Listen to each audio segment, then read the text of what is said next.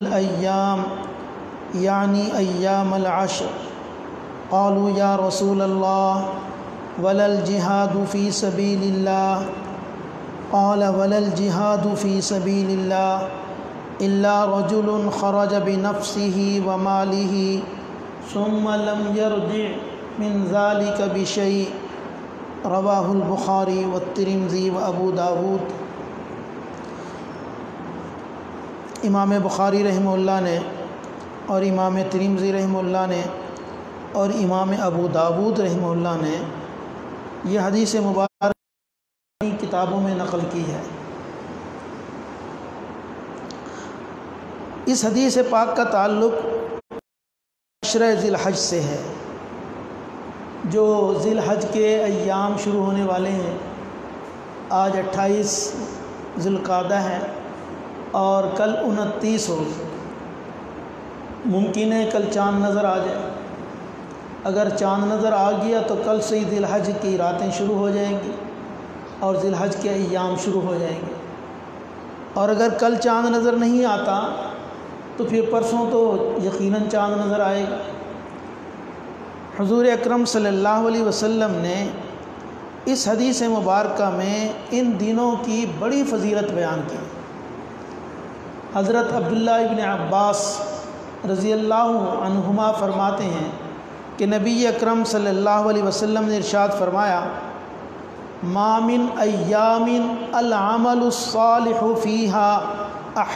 इलल्लाहि अज़्ज़ वजल मिन अयाम यानी तमाम दिनों में सबसे ज़्यादा असर अशर ज़िलहज में इंसान जो नेक अमल करता है, वो अल्लाह को सारे साल के सारे दिनों से ज़्यादा महबूब है।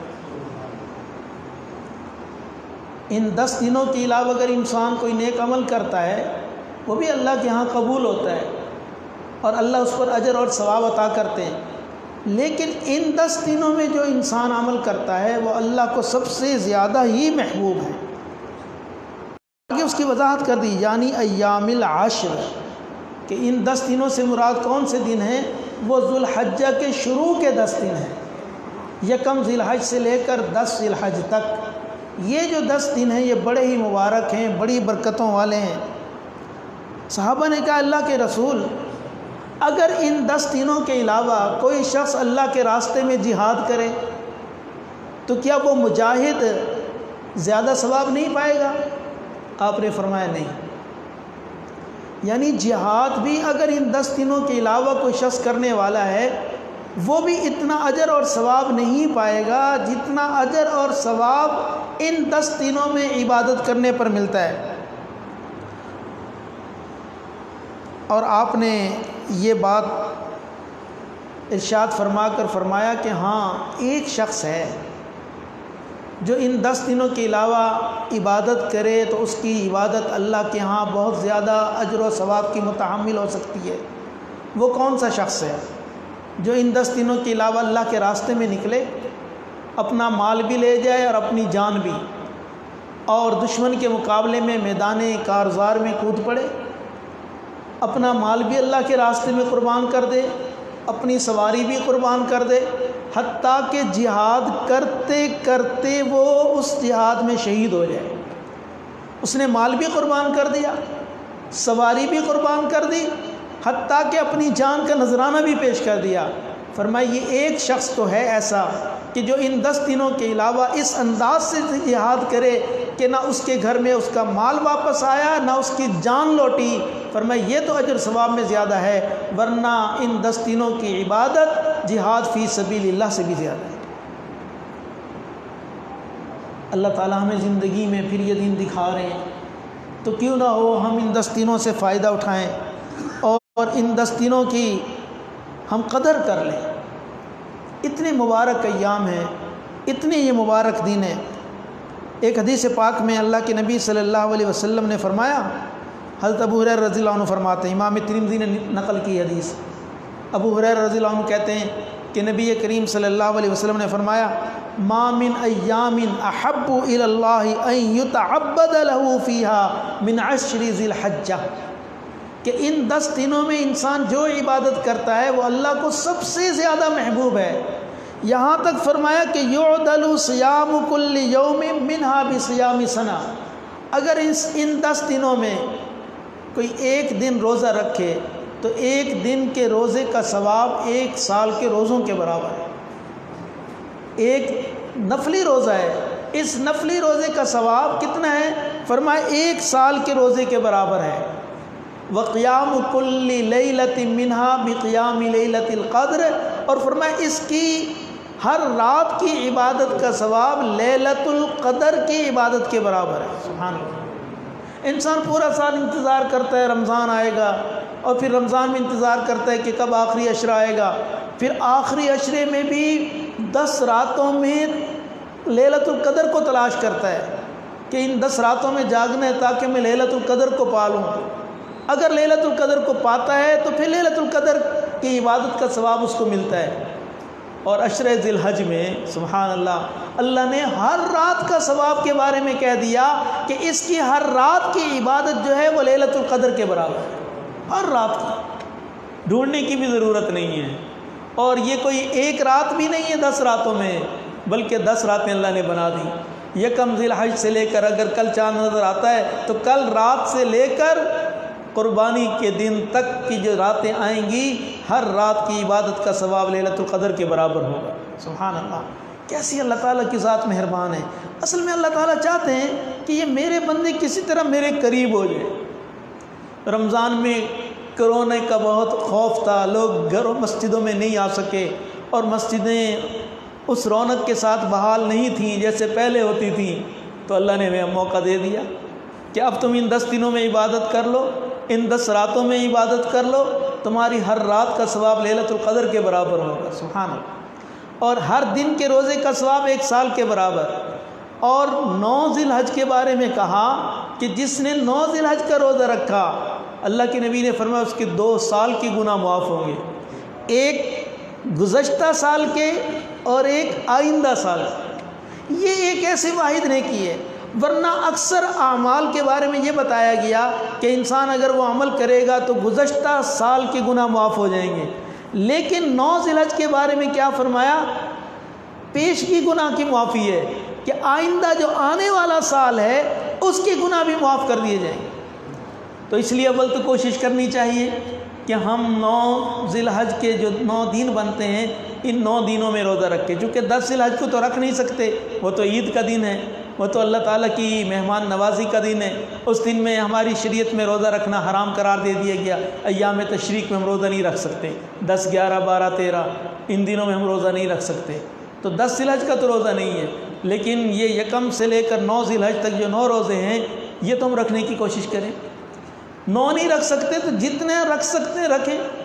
पीर और जुमेरात का ही रोज़ा रख लें, ताकि अल्लाह के महबूब कि हर हफ़्ते में ये सुन्नत है कि आप सल्लल्लाहु अलैहि वसल्लम पीर के दिन भी रोज़ा रखते थे और जुमेरात के दिन भी रखते थे। तो इसमें भी पीर का दिन आएगा और जुमेरात का दिन आएगा। तो हम ये दो रोज़े रख सकते हैं। और कोई तीन रखना चाहे तो पीर, जुमेरात, जुमे का तीन दिन के रोज़े रख सकता है। और अगर हम बिलफर तीन भी नहीं रख सकते तो कम से कम नौ जिलहज के रोज़े तो रखने की कोशिश करें, ताकि हमें दो साल के रोज़ों का स्वाब मिल जाए और दो साल के गुनाहों का कफ़ार अदा हो जाए, एक गुज्त साल के और एक आने वाले साल के। तो ये दिन अल्लाह रब्बुल आलमीन के यहाँ बड़े ही काबिल कदर दिन है। काश हमें इन दिनों की कदर का अंदाज़ा हो जाए।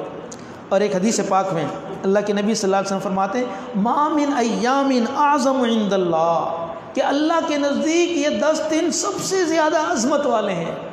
वला अहब अल्लाह और अल्लाह के नज़दीक ये सबसे ज़्यादा महबूब हैं।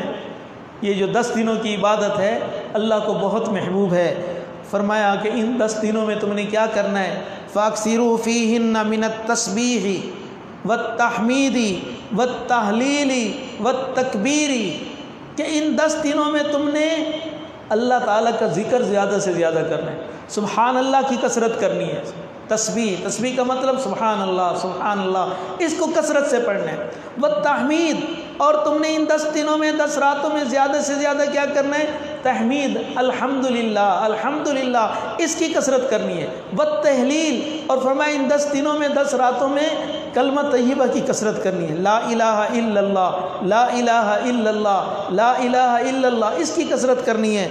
व तकबीर, और फरमाए इन दस दिनों में तकबीर की भी कसरत करनी है। अल्लाह अकबर अल्लाह अकबर।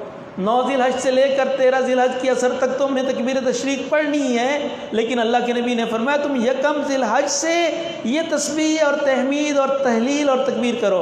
सुबहान अल्लाह वलहमदिल्ला वला इसमें सारी चीज़ें आ गई। सुबहान अल्लाह में तस्वीर आ गई वलहमदिल्ला में तहमीद आ गई, वला में तहरील आ गई, वल्लाह अकबर में तकबीर आ गई। तो फरमाया कि ये कसरत इन दिनों में इस ज़िक्र की कसरत करनी है। और एक हदीस पाक में अल्लाह के नबी सल्लल्लाहु अलैहि वसल्लम ने बड़ी अजीब फजीलत बयान की है। फरमाया कि हर दिन का सवाब, हर दिन के रोज़े का सवाब साल के रोज़ों के बराबर। और फरमाया, इन दिनों में एक नेकी इंसान करेगा। फरमाया युज़ाफ़िन सात सौ नेकियों के बराबर उसका सवाब लिखा जाए अमल एक करेगा, नमाज़ एक पढ़ेगा, नमाज़ सात सौ नमाज़ों का सवाब मिलेगा। कुरान की तिलावत का एक पारा पढ़ेगा, सात सौ पारे तिलावत करने का सवाब मिलेगा। एक मरतबा ला इला पढ़ेगा, सात सौ मरतबा ला इला कहने का सवाब मिलेगा। एक मरतबा अल्लाह अकबर कहेगा तो सात सौ मरतबा अल्लाह अकबर कहने का सवाब मिलेगा। एक मरतबा अस्तफ़िरल्ला पढ़ेगा तो सात सौ मरतबा अस्तफ़िरल्ला पढ़ने का सवाब मिलेगा। एक मरतबा ला हौला वला कुव्वत इल्ला बिल्ला पढ़ेगा तो सात सौ मरतबा ला हौला वला कुव्वत इल्ला बिल्ला पढ़ने का सवाब मिलेगा तो इसलिए हमें चाहिए कि कसरत से ज़िक्र करें। इसलिए हमने सोचा कि इन इन दस दिनों में हम रोज़ाना मगरिब के बाद कुछ देर दर से हदीस देंगे और कुछ देर अल्लाह के ज़िक्र में वक्त गुजारेंगे। ताकि, चलो सारा दिन ना सही, सारी रात ना सही, मगरिब से सूरज गरूब होने के बाद रात तो शुरू हो जाती है।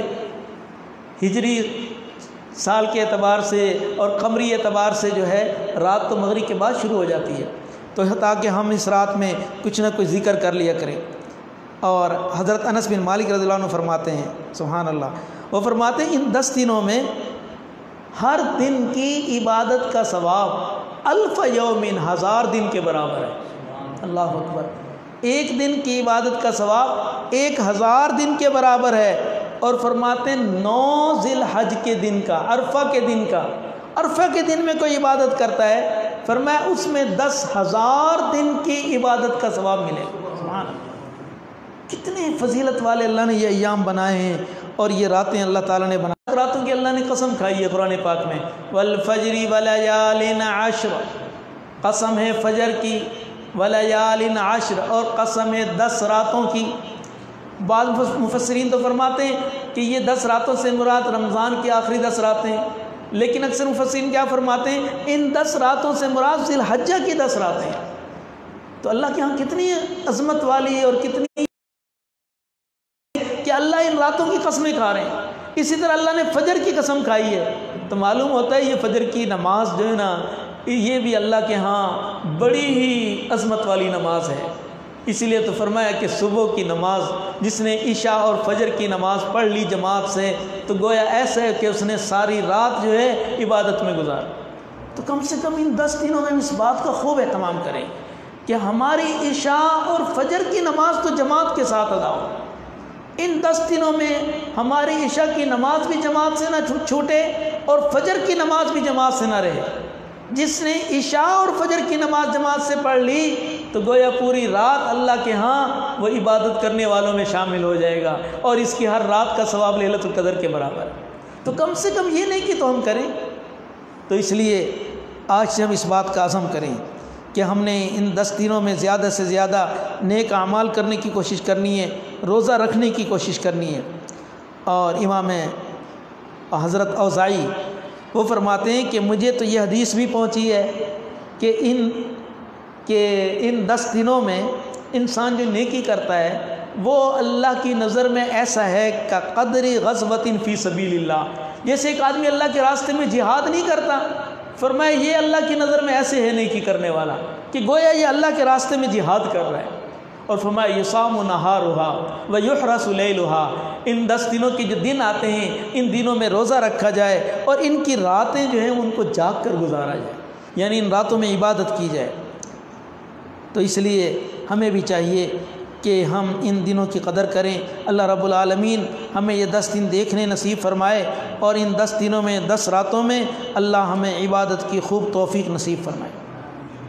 कल से चाँद नज़र आ जाएगा या परसों आ जाएगा? तो ये मसला भी, बल्कि हदीस पाक भी सुन लीजिए।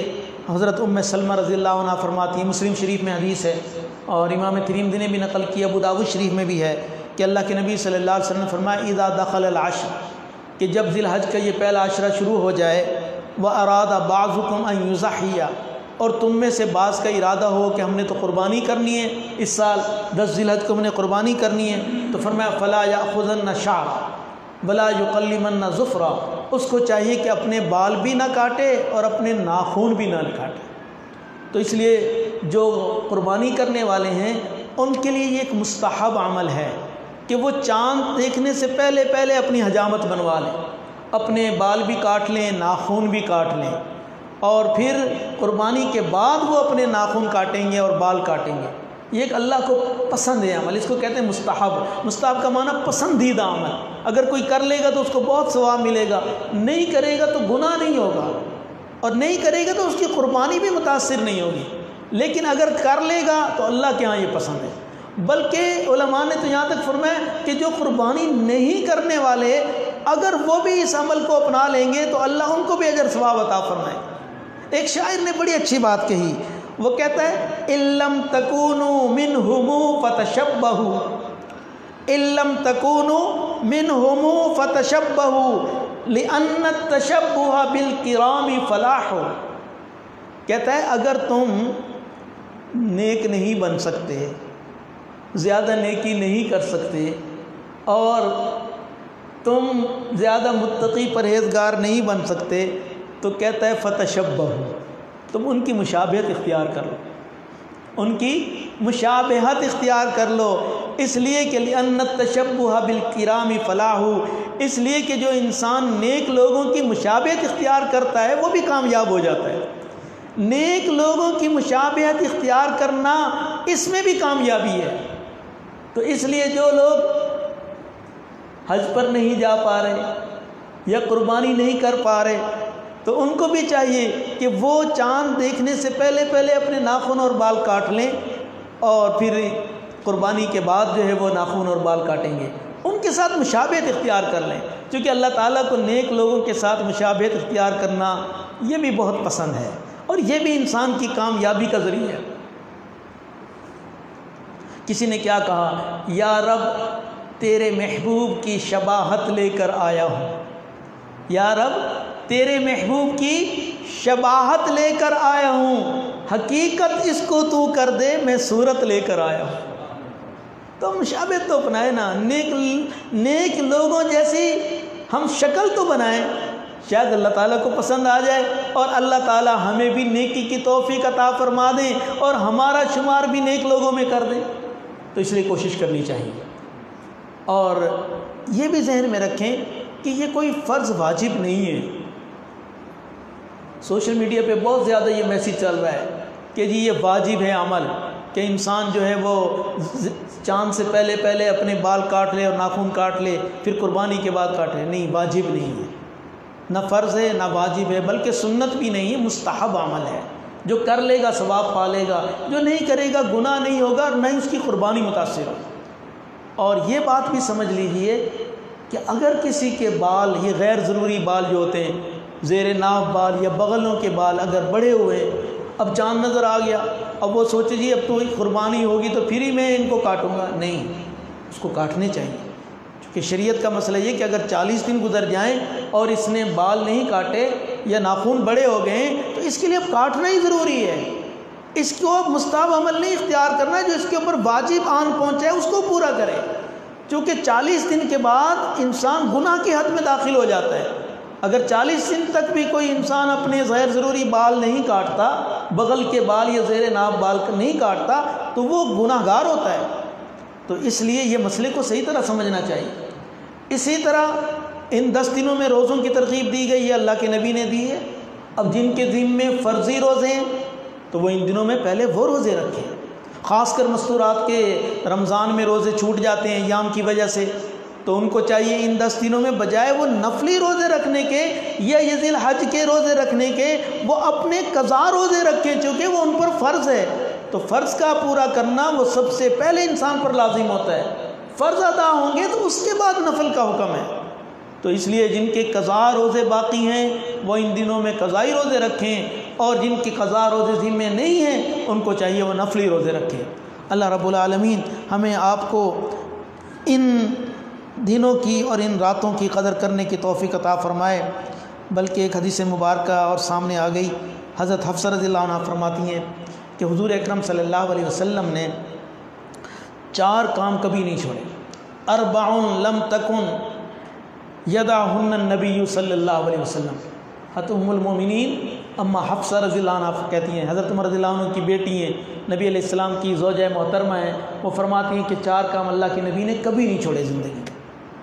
वो पहले, पहला कौन सा है? वो चार चीज़ों में पहला अमल, फरमाया श्याम व आशूरा। आपने दस मुहर्रम का रोज़ा कभी नहीं छोड़ा। और दूसरा, वल आशर। ज़िल हज के शुरू के ये जो नौ दिन के रोज़े हैं, ये आपने कभी नहीं छोड़े। यानी कितनी अल्लाह के नबी ने पाबंदी से रोज़े रखे। फरमाया, ये रोज़े आपने कभी नहीं छोड़े। और फरमाया वसलासत अयामिन मिनकुल्ली शाहरिन। हर महीने में जो तीन दिन आते हैं, जिनको अयाम बीस के रोज़े कहते हैं। तेरह, चौदह, पंद्रह। ये अयाम बीस के रोज़े कहलाते हैं। अयाम बीस इसलिए कहते हैं कि इन दिनों में चाँद खूब रोशन होता है। तेरह, चौदह, पंद्रह की रात को चाँद चूँकि एक तो पूरा साइज़ में जो है होता है और दूसरा उसकी रोशनी सबसे ज़्यादा होती है। तो ये अयाम बीस के रोज़े आप सल्लल्लाहु अलैहि वसल्लम ने कभी नहीं छोड़े। हर महीने आपकी आदत मुबारक थी कि तेरह, चौदह, पंद्रह जो है तारीख़ कमरी हिसाब से जो आती थी उसमें आप रोज़े रखते थे। और चौथी चीज़ जो आपने कभी नहीं छोड़ी, वह रकातानी कबल फ़जर सुबहान फ़जर से पहले की जो दो रकातें जो हम दो सुन्नत पढ़ते हैं ना, फजर के फ़र्ज़ों से पहले फरमाए वो फजर के फ़र्ज़ों से पहले जो दो रकात सुन्नत हैं, वो आपने कभी नहीं छोड़ी। अंदाज़ा लगाएँ कि जब फजर की दो रकातें आपने कभी नहीं छोड़ी तो फजर की फ़र्ज़ों की अहमियत कितनी होगी? ये तो सुन्नत की अहमियत आपने अपने अमल से बता दी। कि आप सल्लल्लाहु अलैहि वसल्लम ने फजर की दो सुन्नतें कभी नहीं छोड़ी। तो फ़र्ज़ कैसे छोड़ सकते थे? तो इसलिए हमें भी चाहिए कि हम फ़जर की नमाज़ का अहतमाम करें, फ़जर के फ़र्ज़ों का भी अहतमाम करें और फ़जर की सुन्नतों का भी अहतमाम करें। तो इन चार आमाल में एक अमल क्या बताया? अशर हज के रोज़े आपने कभी नहीं छोड़े। अल्लाह रब्बुल आलमीन, मुझे आपको हम सबको जो है इन अयाम की और इन रातों की कदर करने की तोफ़ी अता फ़रमाए। मज़ीद इन कल अर्ज़ करूँगा कि इन रातों में, इन दिन में हमने क्या करना है, वो कसरत ज़िक्र करना है, उसकी इन तफसील जो है वो कल अर्ज़ करूँगा। बस एक हदीस हमने ज़िक्र के बारे में पढ़नी है, उसके बाद हम ज़िक्र करेंगे। हजूर अक्रम सल्ला वसम ने फरमाया, माँ जलस कौम मजलिसन यज़करून अल्लाह अज़्ज़ वजल फ़ी फ़यकूमून हत्ता युकाल लहुम बड़ी मुख्तसर हदीस है, लेकिन बड़ी शानदार और बड़ी जानदार है। और हमारे लिए इसमें बड़ी बिशारत है। फरमाया कि जब भी कोई कौम किसी मजलिस में बैठकर अल्लाह का ज़िक्र करती है, जैसे हम बैठे हैं ज़िक्र के लिए, फरमाया जब भी कोई कौम किसी मजलिस में अल्लाह का ज़िक्र करती है, और वो ज़िक्र करने के बाद जब उस महफ़िल को बर्खास्त करके रुखसत होती है, महफ़िल ख़त्म हो गई, मजलिस ज़िक्र ख़त्म हो गई, और वो वहाँ से उठना शुरू हो गए, फ़यकूमून, वो उस मजलिस से खड़े हो गए तो हत्ता युकाल तो अल्लाह के नबी ने फरमाया, उनको कहा जाता है ओमू तुम खड़े हो जाओ, तुम जाओ अब, कद गफ़र अल्लाह अल्लाह ने तुम्हारी बख्शिश कर दी। सुबहान कद गफ़र अल्लाकुम पक्की बात है कि अल्लाह ने तुम्हारी मगफिरत कर दी।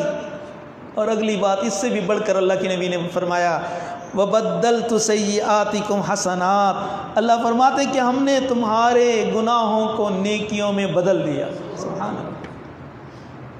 एक तो ना गुनाहों की माफ़ी मिल जाए, और एक वो गुनाह सारे नेकियों में बदल जाए आज अगर हमारे नाम आमाल में एक करोड़ गुना दर्ज हैं तो इस महफिल ज़िक्र की बरकत से अल्लाह वो एक गुना, एक करोड़ गुना सिर्फ़ माफ़ी नहीं करेंगे, बल्कि उनको नेकियों में बदल देंगे। अभी तक हमारा नाम आमाल जो था, वो गुनाहों से भरा हुआ था। और इस महफिल ज़िक्र की बरकत से वो पूरा का पूरा नाम आमाल अब नेकियों से भर गया? सुबहान तो इसलिए हमें अहतमाम करना चाहिए। अल्लाह रब्लमीन मुझे आपको, हम सबको ज़्यादा से ज़्यादा अपने ज़िक्र की तोफ़ी नसीब फरमाए। तो थोड़ी देर के लिए हम ज़िक्र लसानी करेंगे, उसके बाद हम ज़िक्र कल्बी करेंगे, फिर दुआ कर लेंगे